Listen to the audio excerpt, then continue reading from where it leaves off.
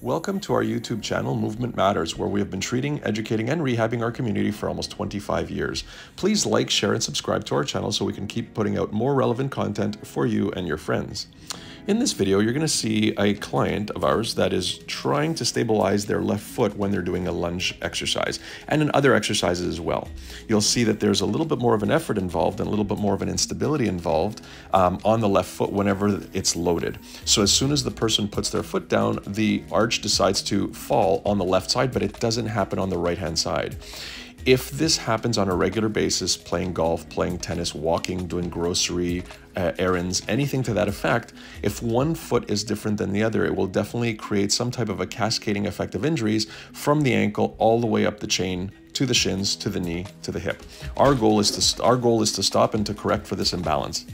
If you like what you see, please log into our log into our channel, and we'll gladly create more and more videos. Thank you very much.